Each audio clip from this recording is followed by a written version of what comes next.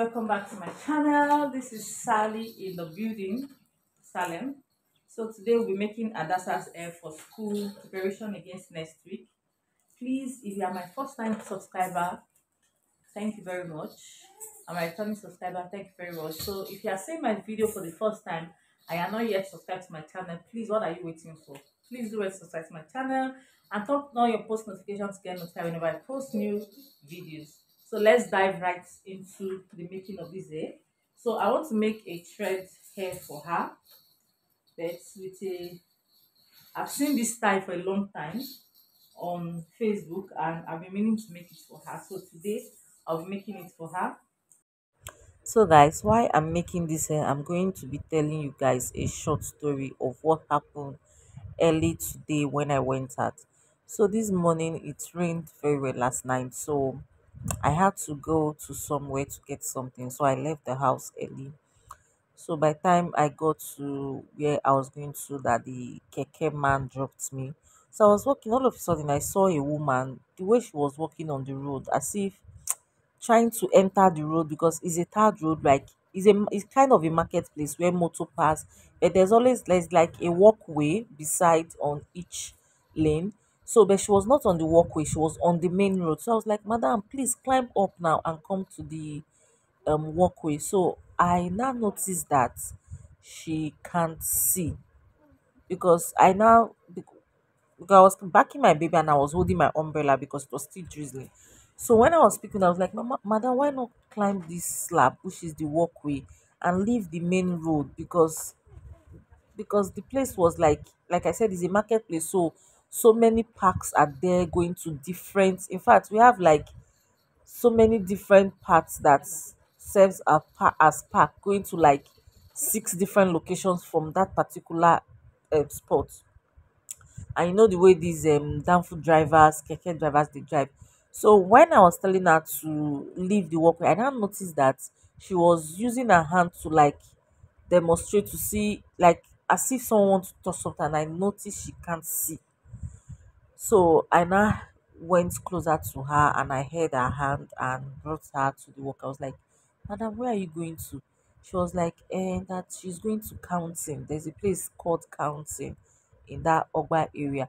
I said, but this place that you are is far from where counting is. He said, eh, our auntie was the one that put her in a bus, like I think one of these danfo buses, yellow buses, that he told the driver that the driver should stop her at counting and the driver agreed but the driver stopped her i was so angry like it just pained me that i didn't know the guy. I would have spoken to him like you see somebody in this kind of condition your heart still lets you. As if that was not enough but i was rushing out to go to somewhere. I can't even take her to the county. I was backing my baby because i was rushing to go take my injection precisely. So I now said, So can you see? She said she can see small small. I said, So do you know your way from here to counting? I said, Can you see? She said, Yes, she can see small small. I said, Okay, let me assist you to come to the walkway, which is the slab. Then, since you said you can see little by little, maybe you can just be moving to counting. Then I left her. I got to where to the hospital that I want to take the injection. I took the injection.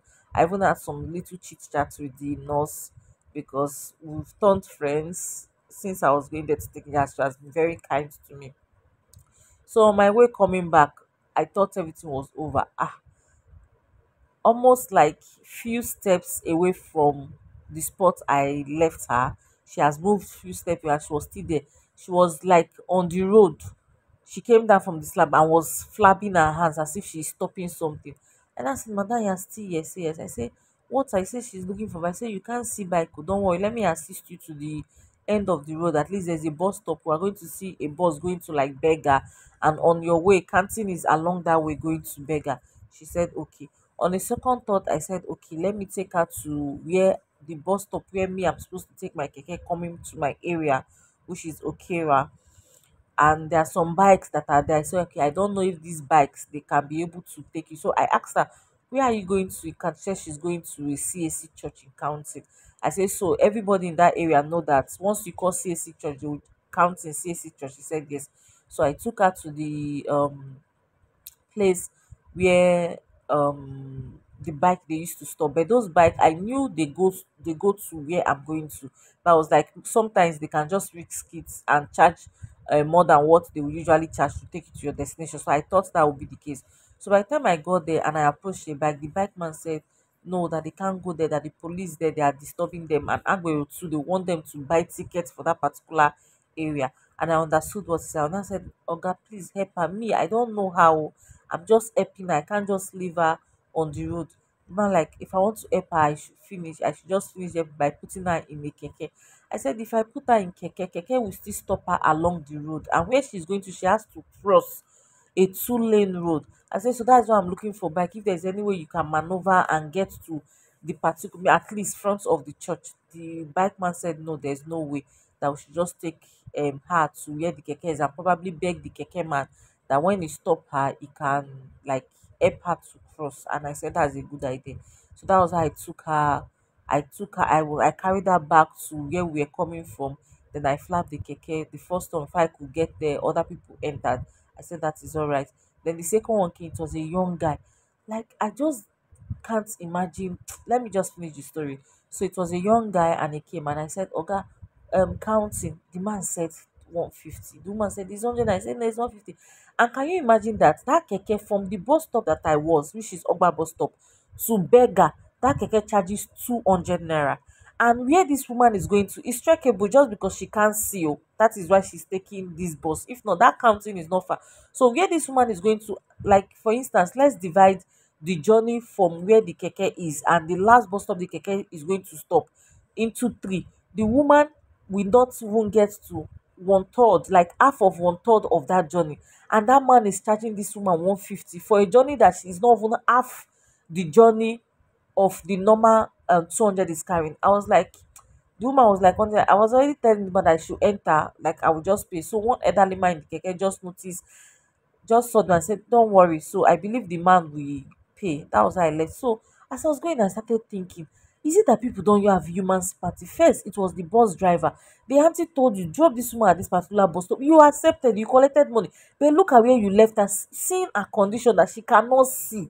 You still had the mind to leave her there. And now this keke guy, they are all young i believe the bus driver is a young man because that is only young boys that can behave that way.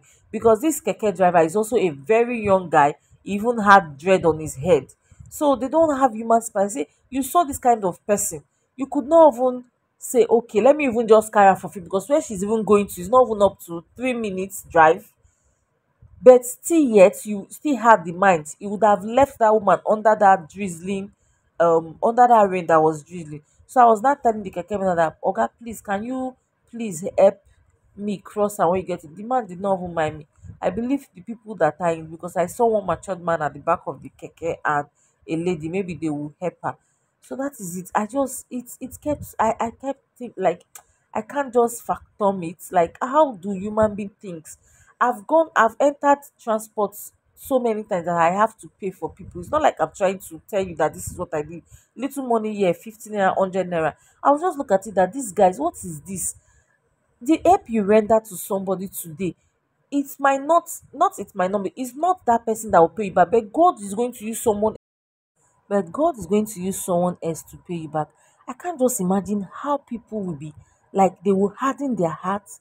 You see somebody, a disabled person, you can't even assist that person, even with 15 naira, you cannot. It just beats my imagination. Anyway, I pray God help us all. Someone should not fall into temptation or see temptation that is beyond that person. Like I, I've tried my best. I tried the best I could to help her.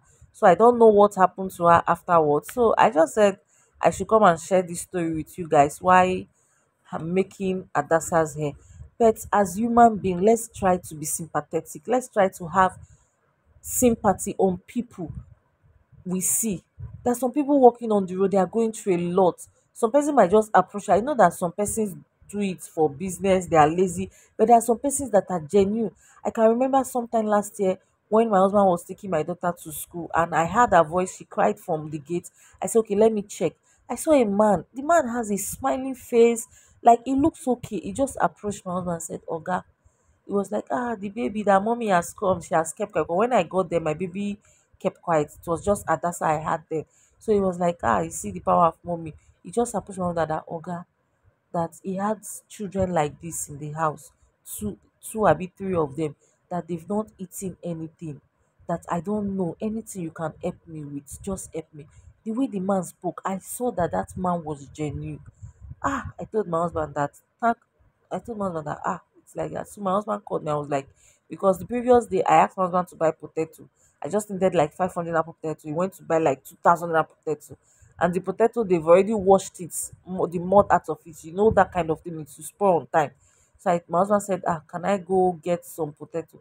When i got to the house and i was packing the potato i just said why not add other things? I didn't have much. I didn't have money to give him at that time. I just added some few rice um oil crayf um mangi pepper onion. You see that kind of person? You know you see people you help them. I can imagine what that man was going through. When my husband came day i was like this man i say but you see the man he does not even look like what he's going through. He has a smiling face. See the way he was praying for us? God bless you you never lack you never see you never lack what to use and feed your children blah blah blah blah blah madam you give birth leave you. I felt for him i felt his pain because the economy that we have hmm, is by the grace of god we are surviving. Some persons were laid off from work. Some persons i was just telling my husband that this kind of man now if he does not have a good wife that is how the wife will be putting pepper.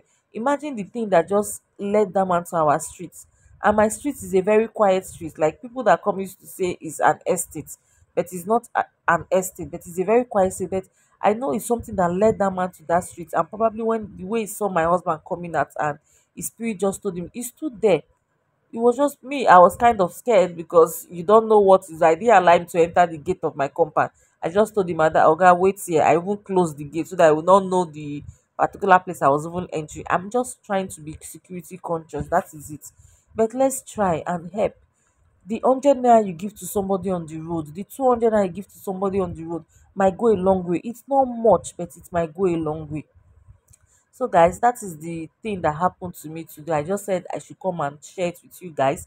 Why i was making why i'm making my daughters i just like to share this with you guys.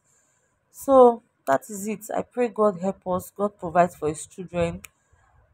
Ah i don't know what to say. It is well. It is well. So this is my daughter's hair. I'm done with the hair. So i will just burn it a bit so that you know i'm using brazilian wool. If i don't burn it this burning of it is going to secure it together. It will make it not to loosen out. So that is why i'm just burning it. I'm being careful with it.